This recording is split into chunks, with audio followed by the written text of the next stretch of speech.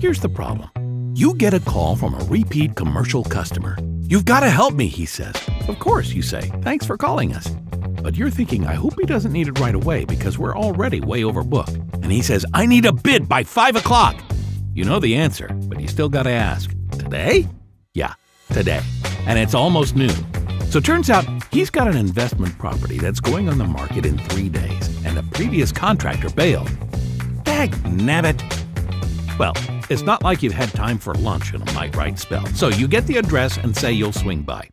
Now it's time to build the estimate.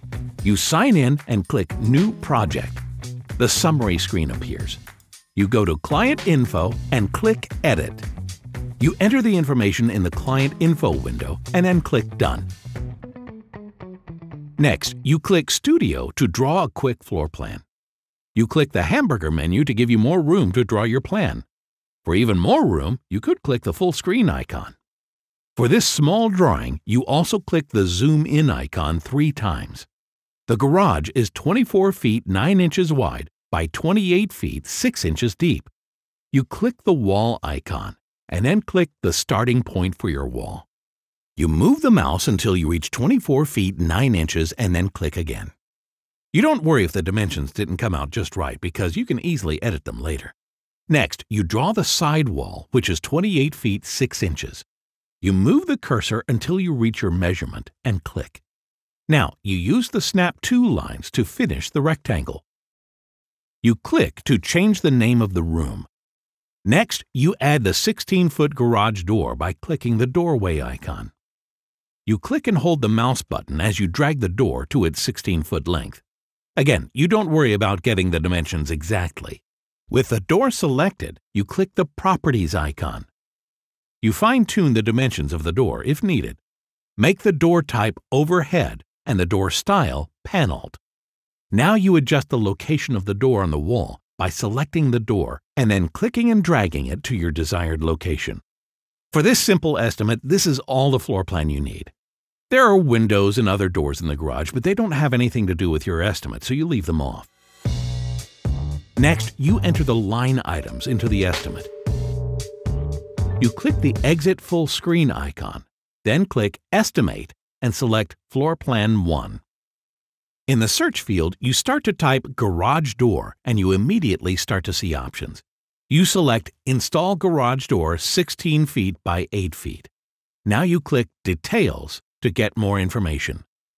As you change the quality level for the door from average to high, you see a description of the door. The door you're installing matches the high quality description. You click the checkmark icon to close the Details window and add the garage door to your estimate. You do not click the Add button since you've already added the door to the estimate as you can see to the right of your screen. Next, you scroll down the list and select Garage Door Opener. You select Install Garage Door Opener Operator. Again, you click Details and review your options. The average quality level opener fits the description of the opener you'll install, so you click the check mark to save and close the Details window. The garage door is pre-finished, but you do need to paint the garage door opening and trim. You click the Single Items tab and start typing Paint Garage Door Opening. You select the item and click Add. Just as you are about to wrap up this simple bid, you get a call from the customer. Hey, would you also bid to install the two exterior light fixtures on both sides of the door? They're already on site inside the garage. Okay. Under Single Items, you start to type Exterior Light Fixture. You select the exterior light fixture item, change the activity to Install, and change the quantity to 2. You click Add, and that's it for the line items in this simple bid. Before you wrap up the bid, you return to the summary screen. You're tempted to add to the markup since this is a rush job and changing the schedules of crews adds to your cost.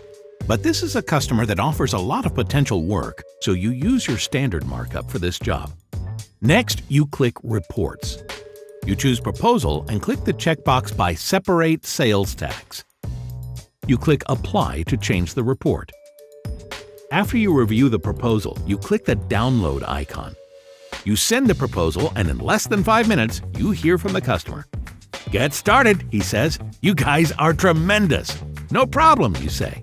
You pull this off, and a lot more work will be coming your way, he says. Anytime, you say.